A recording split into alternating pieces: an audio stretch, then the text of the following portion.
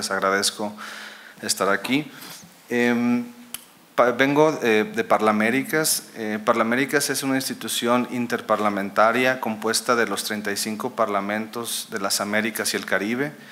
Dígase, eh, son las legislaturas nacionales, senados, asambleas nacionales, parlamentos y los congresos. la institución ha estado trabajando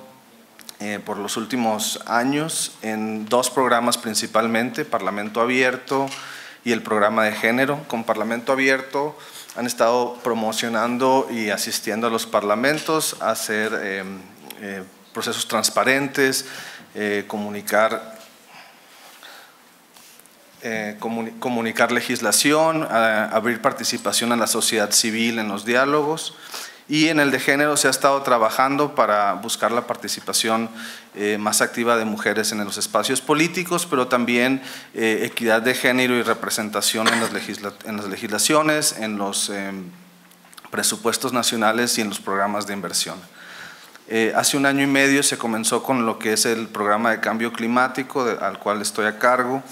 y principalmente eh, estamos trabajando eh, el programa de cambio climático a través de lo que es la red parlamentaria de cambio climático eh, en el hemisferio. Esta es una red de legisladores con un consejo ejecutivo con el cual trabajamos directamente en la, primero en la preparación de conocimientos, recursos de conocimiento y herramientas para los parlamentos nacionales, pero también creando espacios de diálogo, intercambio de mejores prácticas y comenzando a hacer una labor de traducción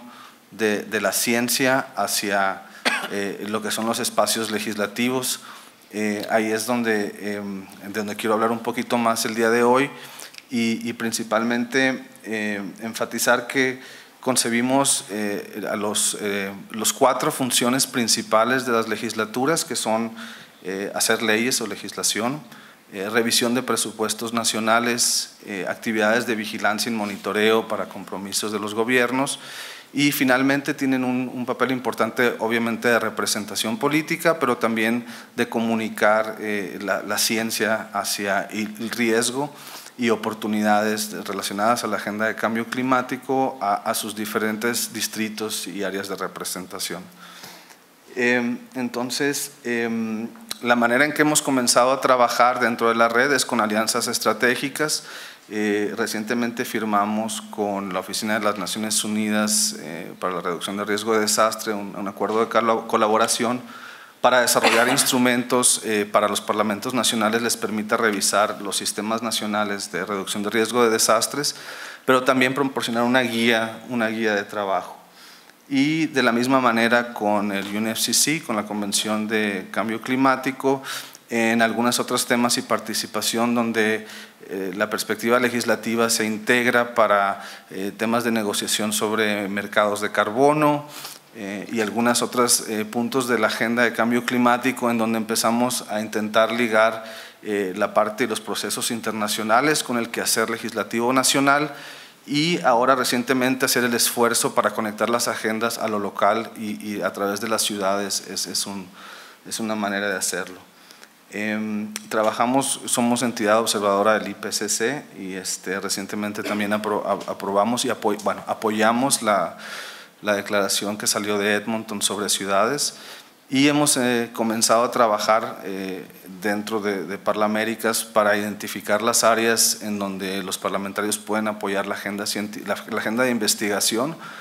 eh, a nivel nacional, también sea a través de presupuestos nacionales, abocar porque se se invierta en, mayor ciencia, en más ciencia y más información generada dentro de los países y a los niveles granulares que son necesarios, en este caso eh, hablando a escala de las ciudades, pero también cómo empezar a,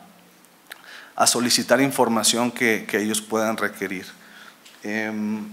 ayer, eh, en los últimos dos días, han presentado eh, mis compañeros y en los diálogos puntos muy importantes eh, sobre los diversos lenguajes que se están hablando en los espacios científicos, en los espacios de la práctica y en el espacio político, eh, la importancia de la coproducción, el fortalecimiento de las capacidades y ah, así como la cooperación entre estos diversos actores y qué mecanismos hay y cómo la información debe de ser presentada de forma que sea útil para los que están este, tomando decisiones. Eh, entonces, les quiero primero hablar un poco de los parlamentos como instituciones que, eh, como mencioné, son unicamerales o bicamerales, dependen de los diversos países en donde estamos este, hablando,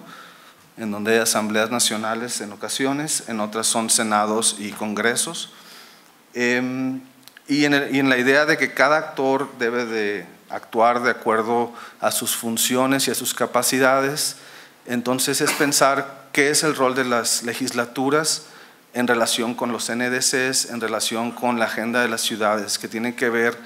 con realmente entender cómo los presupuestos nacionales y cómo las legislaciones deben de ir reformadas o creadas a la par de los compromisos que los países están adoptando a nivel internacional. Cómo esas eh, legislaciones pueden facilitar o promover nuevas inversiones, crear las agencias o las instituciones que son necesarias para implementar y avanzar en los trabajos a nivel nacional y subsecuentemente a nivel local. Em, y eh, en, el, en el quehacer de este proceso también hemos visto que la agenda de cambio climático, independientemente de la, de la, amplia experiencia que la institución ha tenido en áreas de parlamento abierto y de transparencia y de género, eh, la complejidad como en los últimos días nos hemos dado cuenta de, de cambio climático, tanto en mitigación, como en adaptación es, es eh, la cantidad de información técnica de, los diferentes acrónimos, de las diferentes instituciones que participan, eh, del proceso mismo de cómo los países están comprometiéndose a ciertas eh, metas en los próximos años que tienen repercusiones económicas y políticas. Eh, y, traducir eso de una manera a las personas que están votando, que están apoyando ciertas este, iniciativas. Es, es, importante ver cuál es el balance de una amplia gama de información con algo que, que, sea consistente con lo que ellos pueden eh, trabajar dentro de las instituciones, ¿no? o como Parlamento Nacional en relación a los, a los otros eh, órganos del, gobierno eh, federal o, de, local como sea eh, previsto. Entonces, el objetivo que tenemos es buscar la manera de acelerar la implementación de las NDCs a través de las diferentes funciones legislativas y fortalecer las capacidades de los parlamentarios para participar en, en los procesos de, y apoyar los procesos de implementación de las NDCs. Eh, por otro lado, realmente enfatizar eh, que en, Latinoamérica y, el Caribe tenemos, eh, según las últimas este, encuestas, realmente hay casi un 80% de, de, apoyo o de percepción de los ciudadanos y los residentes de que el cambio climático es algo importante, urgente y del cual es necesario tomar acción. Y esto no es, no es poca cosa, creo que esto realmente representa una, una, confianza también para el espacio político de trabajar de una manera distinta en donde tal vez hemos visto eh, que en otros países hay, confrontaciones eh, ideológicas que no permiten trabajar. Entonces ese realmente es una, es una ventaja y algo que, en el espacio político se puede aprovechar para intentar avanzar con la agenda. Y, eh, y ellos también buscar cómo pueden traducir diferentes eh, mensajes y oportunidades que se derivan tanto de la, parte de mitigación, los mercados de carbono, oportunidades de, de, inversión para el sector privado y en la parte de adaptación, riesgo y, vulnerabilidades, no solo para sus comunidades, pero también con, con un llamado constante para tomar acción y, planear a nivel este, nacional, regional y, local. Em, y finalmente, la parte del de, eh, rol de vigilancia en cómo los, los, legisladores pueden dar seguimiento y en el proceso de las NDCs que tienen diferentes momentos en donde se van a hacer revisión de estos objetivos, también pueden, pueden ir verificando en dónde es necesario eh, proporcionar más apoyo con los gobiernos o de qué manera los presupuestos nacionales pueden ir encaminando a, las áreas prioritarias que el país mismo ha, decidido tomar ¿no? y del cual se derivan muchos de los programas este, regionales. Entonces, les quiero presentar eh, a manera a lo mejor de ilustrar un poquito algunas de las, de las conversaciones de los últimos eh, días y, y, de cómo estas ideas de, de, y la ciencia que está saliendo del IPPC ha sido, la hemos pensado y la intentado implementar a través de, de un diálogo eh, que, resultó en, este manual elaborado por parlamentarios para los parlamentos nacionales eh, en el tema de, adaptación y reducción de riesgo. Em, no sé si eh, tengan el video. Ah,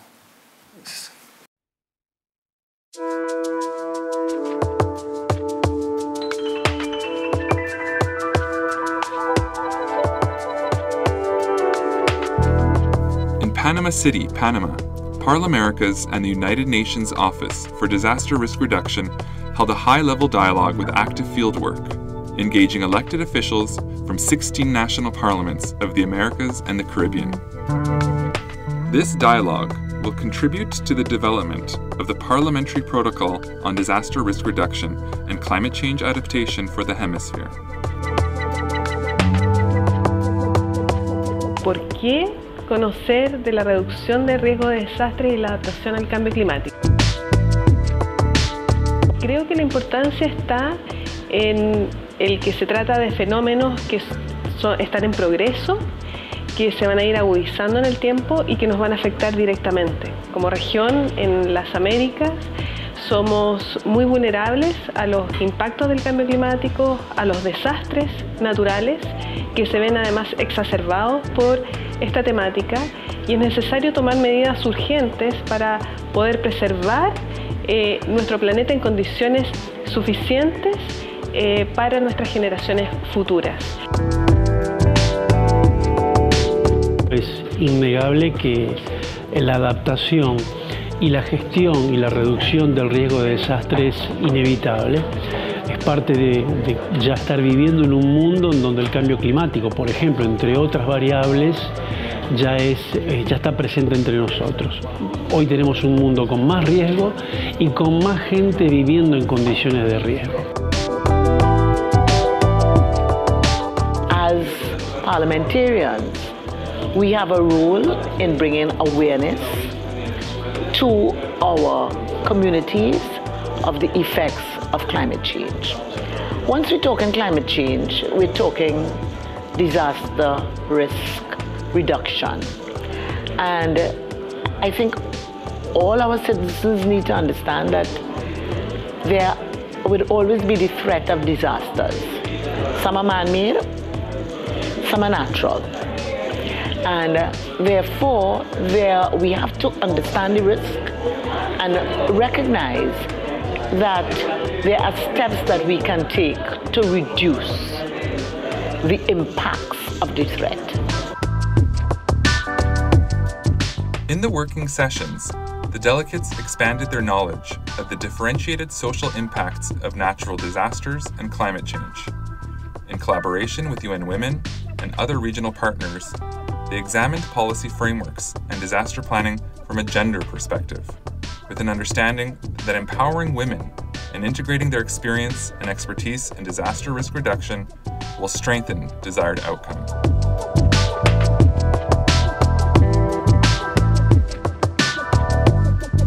El cambio climático afecta a todos, pero sobre todo eh, afecta a los más vulnerables, o mejor dicho, a los más vulnerables eh, que no tienen la capacidad de respuesta para recomponerse luego de, de, de vivir un suceso producto del cambio climático. It's important to take recognition of climate change in that the all development is intended for the improvement of the lives of the citizens of the particular community or country. And uh, climate change uh, has the effect to erode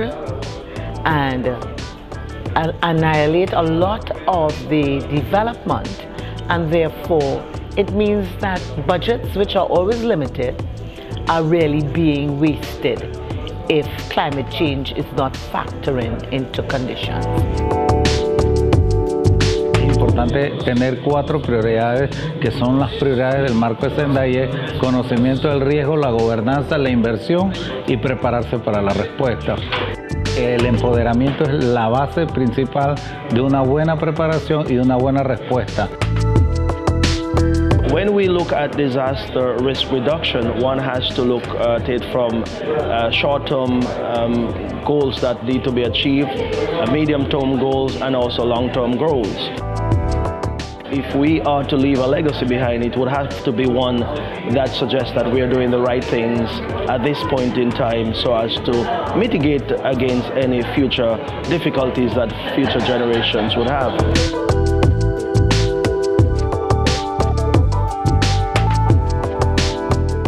Los parlamentarios en este sentido tienen, por supuesto, mucho que hacer, no solo en la construcción de legislación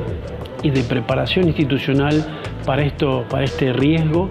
eh, sino que además tenemos un rol, como yo lo decía, político, es decir, el parlamentario es el que representa las comunidades, representa los distintos distritos de un país y es allí donde debe llevar el mensaje y además representa a la política en el mejor sentido de la palabra. Me parece que el rol de los parlamentarios es fundamental.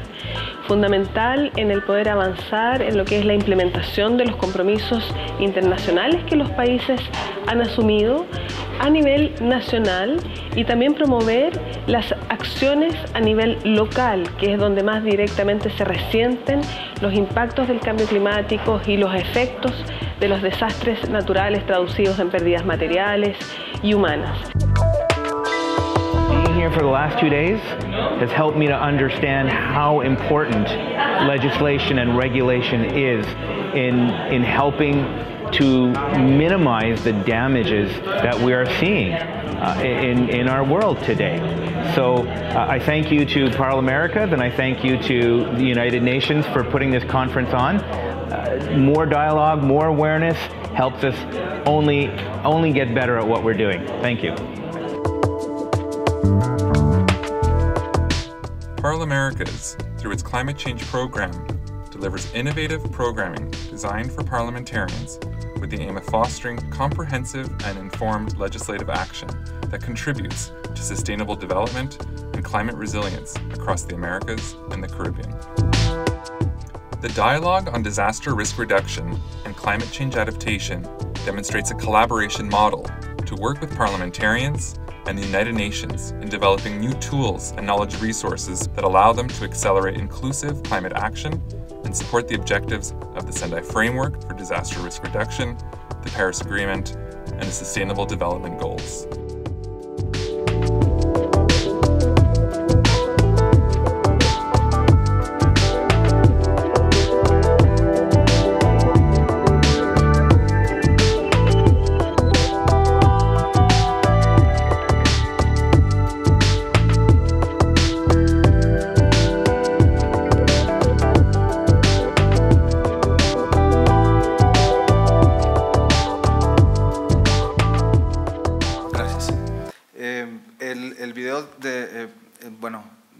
Uno de los diálogos eh, que hemos realizado y, el trabajo que estamos haciendo con, los individuos y con los parlamentarios y las parlamentarias eh, a, manera individual. Y creo que eso enfatiza un poquito eh, el, rol que tienen las instituciones, pero también este trabajo de fortalecimiento de capacidades individuales para entender la agenda internacional, pero también qué pueden hacer dentro de su rol representativo y político eh, para avanzar la agenda y para promover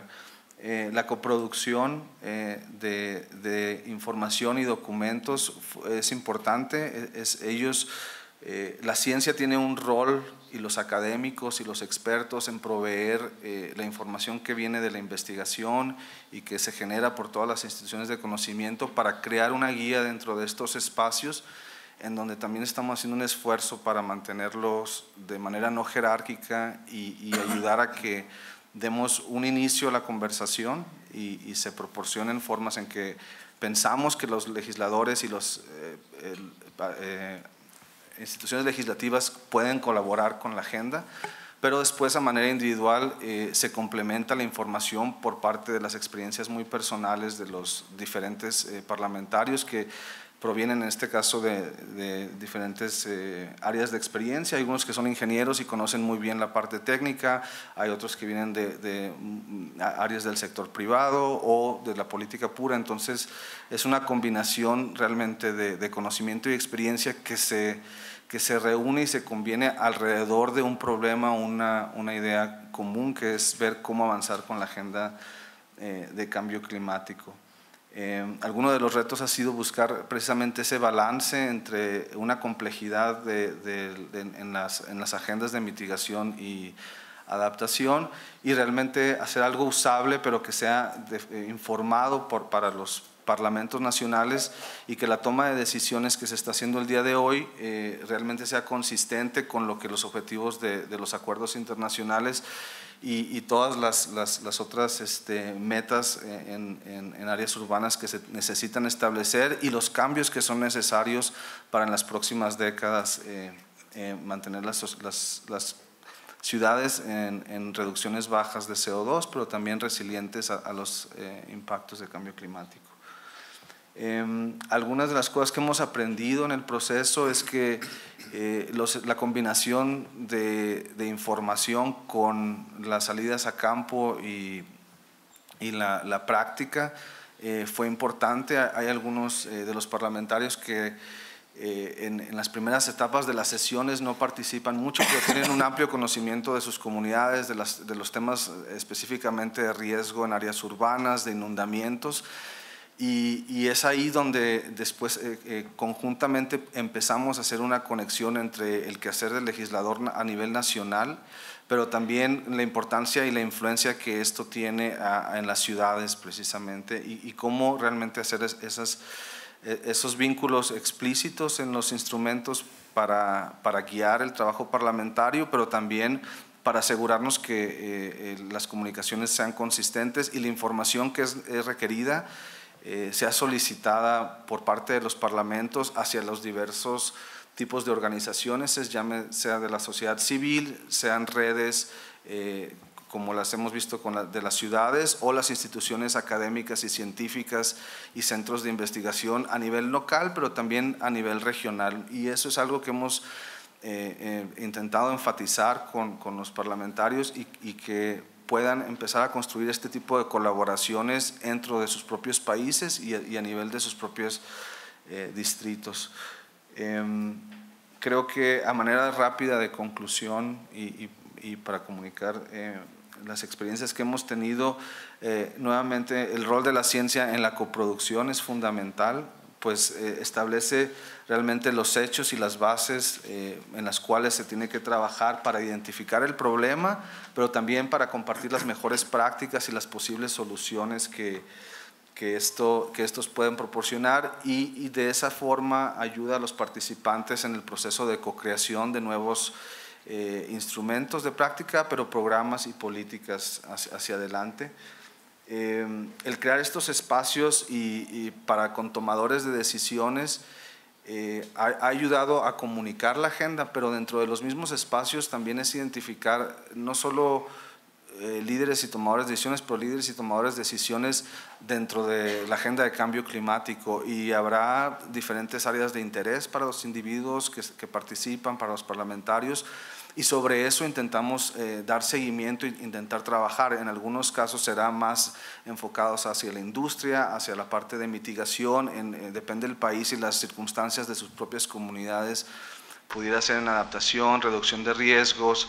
y, y es en donde eh, intentamos identificar dentro de estos espacios con quién se puede seguir trabajando hacia adelante. Eh, y creo que eso eh, no aplica solo para el espacio parlamentario, sino también dentro de los otros espacios, sea académicos, sea de los gobiernos locales o con las ciudades, siempre habrá eh, oportunidad para identificar campeones dentro de, las, diversas agendas y eso es importante para, para ver cómo, cómo, se pueden avanzar con todos estos retos que se han estado platicando en estos días. Em, y en el tema de las capacidades, eh, que lo hemos tocado en, los últimos dos días, creo que es una combinación eh, no solo de conocimientos e información y espacios, eh, sino eh, también de experiencia y de, y de facilitar que las, los individuos y las organizaciones utilicen esa información y el conocimiento de una forma crítica y eh, puedan visualizar hacia un futuro cuáles son las soluciones y el tipo de acciones que ellos pueden realizar. Y, creo que esa es donde a, veces el rol del, del, monitoreo y la evaluación de, los programas es, importante y tener realmente ciclos en donde se pueda reflexionar eh, qué cosas han funcionado, cuáles no funcionan. Y, de los errores eh, es igualmente importante aprender y ajustar. Creo que, como compañera Lique mencionó, eh, están tratando diferentes cosas y en el camino habrá eh, experimentos que no funcionan, pero, pero es importante seguir reflexionando sobre eso y, y que el, fortalecimiento de capacidades permite eso, permite mm, ver los experimentos y los pilotos como lo que son, recabar lo que es importante de ellos y reformular para seguir adelante eh, en el siguiente punto de la agenda de trabajo. Em, los, la legislación y los presupuestos, eh, estamos intentando trabajar de, para promover una visión integral, eh, tanto en el manejo del riesgo climático y la reducción de riesgos de desastres. Dígase, eh, realmente pensarlo como un problema de desarrollo y, que, y, que, las instituciones y los sistemas que ya están en, instalados dentro de los países sean fortalecidos, pero trabajen colaborativamente con otros eh, agencias y órganos de gobierno con los cuales eh, colaboran, pero también con, con, el sector privado, con, con la sociedad civil, eh, y se utilice la infraestructura, la información y la tecnología que ya está ahí se, y, y se, se, integre de una manera eh, consistente con los usos que, que, se les pueden dar para, para la reducción de riesgo y para la adaptación en este caso. Otro tema importante es eh, importante mantener, creo, eh, presencia y representación eh, de, los, de los espacios públicos y de los poderes públicos, y en este caso también de las ciudades, en, el tema de resiliencia. En ocasiones puede ser que se piense como una transferencia de responsabilidad a las comunidades para trabajar en desarrollar estos mecanismos y estas capacidades para responder a los riesgos pero es muy importante que mantengamos la idea de que es una eh, responsabilidad eh, compartida. Eh, y finalmente creo que es importante usar las experiencias de los individuos y sus historias personales para empezar a comunicar algunas de las complejidades de la agenda y, y, eso relacionado al rol que ellos hacen dentro de las instituciones y de esa manera reformar y trabajar más hacia, hacia adelante. Eh, muchas gracias. Eh,